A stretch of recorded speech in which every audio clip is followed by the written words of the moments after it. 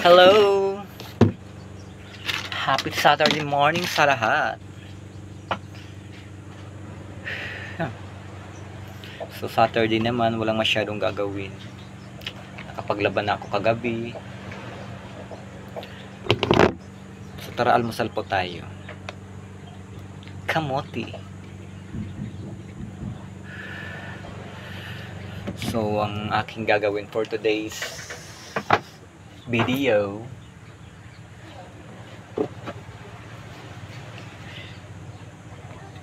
Papahinga-pahinga kasi buong week. Pagod ang person. Sa mga school. Merong mag-video na naman ng person ah. Mm-mm. for today's vlog yan. Alam mo naman vlogger tayo eh. Vlogger tayo. Hmm. So eh. pinapapa ko lang to ayaw ko nang in, may inuulam dito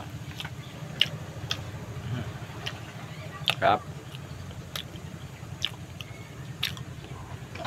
Nabili ko to sa bata. Lalako ng kamote. So, 30 pesos lang ang isang kilo.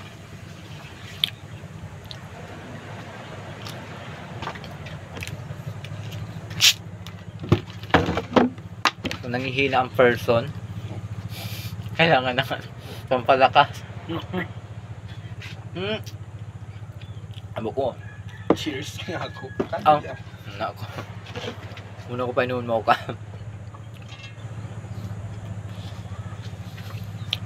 so, ang aking mga gagawin. Sorry. Nawala yung table etiquette natin.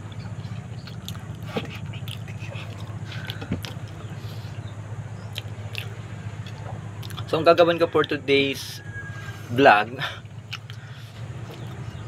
after ko ang mag-almusal, pupunta ako ng sementeryo para dalawin si mami. Nalulungkot na yun, mag-isa yan doon eh.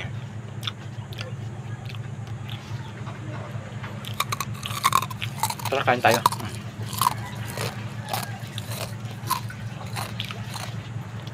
4 years nang namatay si mami.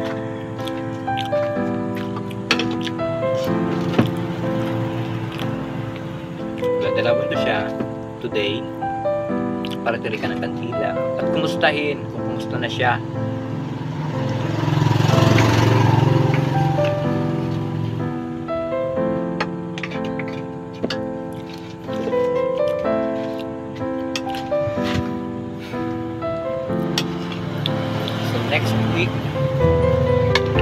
Starting Monday, mag-start na ako ng aking practice teaching. Hoping na maging maayos naman sana.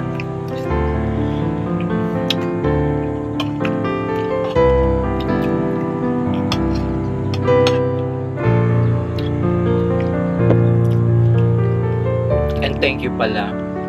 Thank you kay Lord. Kasi naging maayos yung final defense namin. So, ipapolish na lang yung aming manuscript.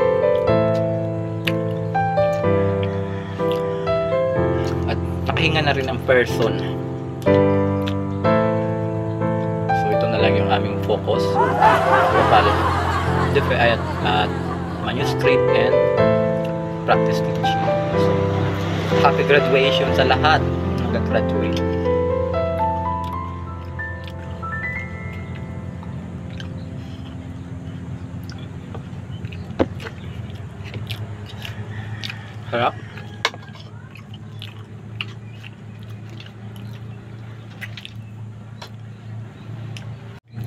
Ay, ito pala yung aking ano kasama dito. Siya si Alfred. Ano, Alfred. Anong apelyido mo? Wilfredo, Wilfredo Junior Bautista. Ah, Wilfredo pala, sorry. Wilfredo Junior Bautista. Nakatira po siya sa ano, ah, taga taga Hibgus po siya. Estudyante din siya ng Mar- Governor Mariano Community College. Natawa ko kay Wilfredo.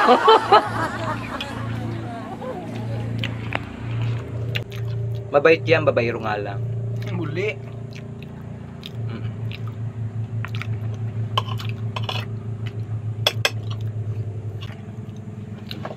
So, ang poproblemahin naman ng person, yung pamasahe everyday, budget sa foods, pero push, laban lang.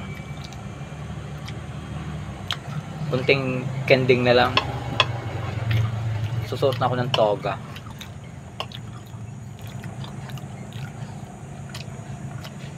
So yan guys, pababa na po ako ng ano, Garcia Torena.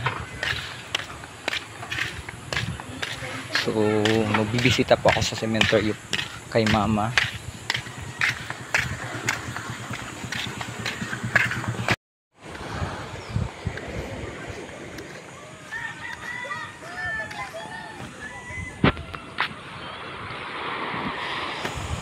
So ayan, dito ako duman sa may dagat. Kasi talagang na-amaze ako sa ganda ng nature. So ito po, nandito po yan sa ano, Barangay Pambuhan. So ito na po, nandito na po ako, pupunta ng sementeryo. So yun nga sinabi ko, bibisitahin ko yung aking mother. So namatay po siya dahil po sa sakit na ah, tuberculosis. So nakakalungkot mawala ng nanay talaga promise. So kaya kayo dyan hanggat buhay pa yung mami nyo, nanay nyo, mudra nyo alagaan natin sila kasi marirealize nyo kung gaano talaga kahirap ang mawala ng nanay sige. So ayan nandito na po ako. Sa puntod ng aking nanay. Tuwing bibisita ko dito sa kanya hindi ko maiwasang maluha. Kasi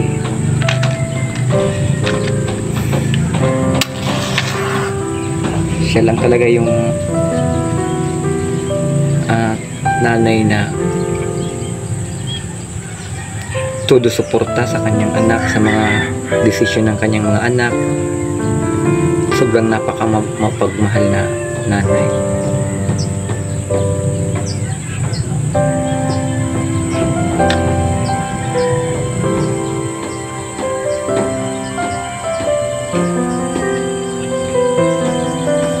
Ah, para sa akin siya yung the best nanay sa buong mundo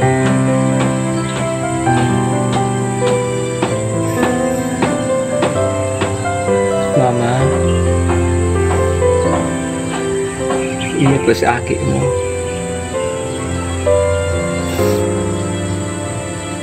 Mag-graduate na pa ako.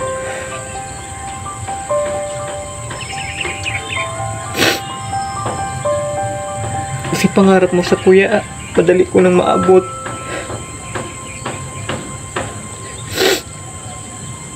Sayang nga lang di mo mahiling ang ang maabot. Kaya ko pang maabot. Pero po pinapangawa sa imo na gabos gigibuhon ko para matabangan ang mga nabayaan mo hindi. Hanggat may kusog ako, miss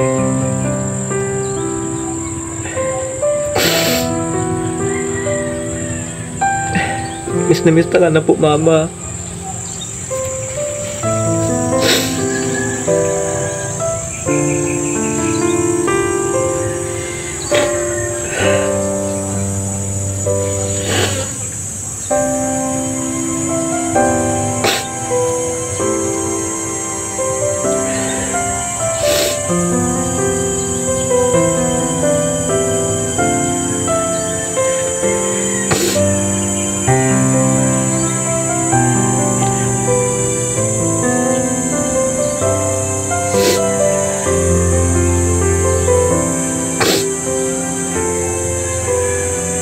Salamat po Padanta. Iminundag mo akong sa mundo.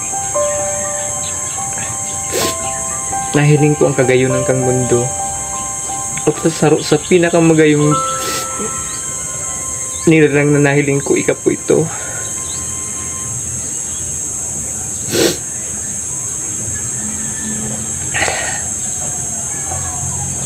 Di ka po maghadit. Sa mga nabayaan mo, Igdi. Okay lang po kami. Mahal na mahal ta po, Mama.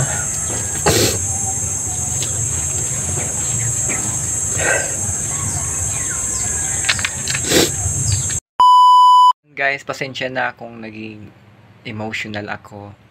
So, nandito nakauwi na pala ako.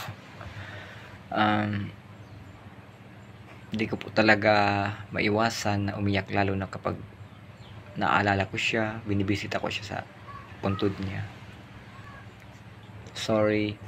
So, gusto ko talaga kasi maging masaya lang eh. Ayoko malungkot. So, that's all for today's vlog. See you in my next video. Thank you for watching. Love you all guys.